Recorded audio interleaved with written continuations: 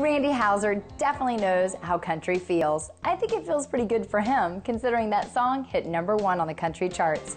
We had a chance to catch up with Randy and writers Wendell Mobley and Vicky McGehee at a party downtown to celebrate that song's success.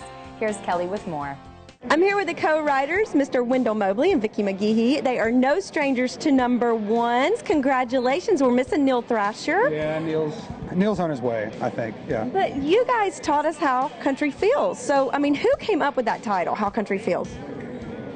Well, I'm not sure about the title. We know how it started. It started with Vicky's opening line, which I think she got from an, from a flight from New York, uh, right? Well, I was flying from New York to Nashville, and I was sitting next to a lady who said, "Where are you from?" I said, "Nashville," and she said, "Isn't that in the country?" and I was like, "Yeah," and she goes, "I've never like touched a cow or walked through a green field or four wheeled or any of that stuff," and I was sitting there thinking, just thinking about it, like, who has never felt. That. Oh. And when I was looking out the windows we were taking off, I was looking out over New York and it was it looked so cold and so asphalt and concrete. And so those first couple of lines came out and it was only two lines. It was just the, you know, you were, I was raising that you were at raising an asphalt farm, never heard a rooster crow, and and that was seven years ago. Yeah. And wow. it took seven years to find two people that could two actually rednecks. get that and run with it. So you walked in the room, had the first opening lines. Thank God you sat beside that lady on a plane and she didn't know how country feels and, and you were able to go there. Well, and at the time I didn't get it either. I just thought I got to write this because it was just something I saw and I wrote it down. And it, like I said, it stayed with me for seven years. Yay. And when I said it to them, I had said it three or four times, other writing, and nobody got it. Like, whatever, okay, let's move on, let's find a better idea, whatever and they got it and ran with it and had this incredible that da da da. That Neil and Wendell thing. They yeah. come with those like genius melodies Absolutely. that make everybody lots of money and lots of hits. We listened to a lot of AC/DC when we were younger. Yeah, they that helps. me in a room. I mean, yeah. they're unbelievable. Yeah, most of their co-write was like I think it was like maybe four hours of laughing, laughing and about an hour of writing. Yeah. Let me show you how country feels. Let your hair down, hair down some of this laid on back. Kick your shoes off, kick them off. We are celebrating a number one here today with Randy Houser. I do believe it. I'm so happy for you. Oh, and there's that laugh.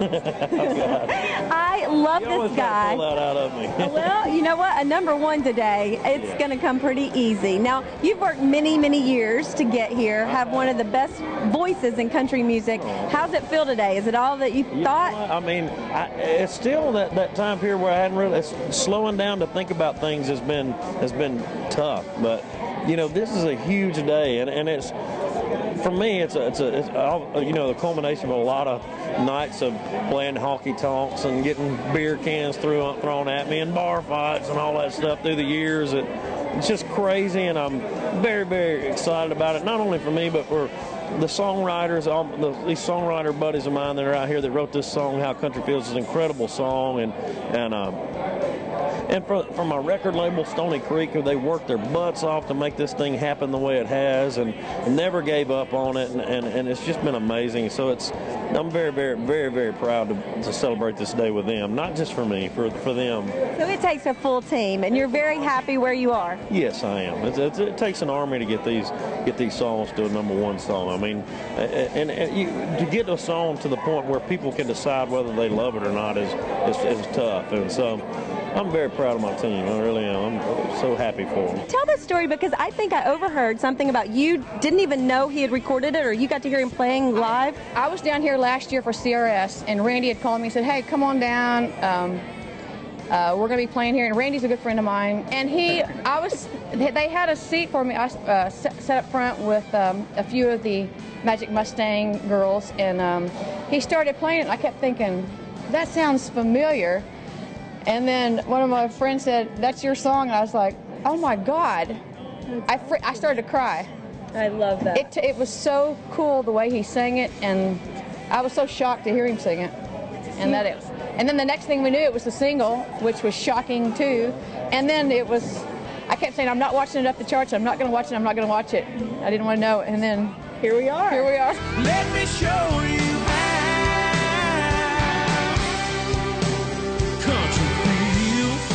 Now, your little boy Wes, I heard he recognized your voice for the first time out of the. He did for the first time two days two days ago, uh, riding in the truck, and how country feels. This song came on the radio, and, and he goes, "Dad, Dad." oh, so that's a, that's the biggest award yet.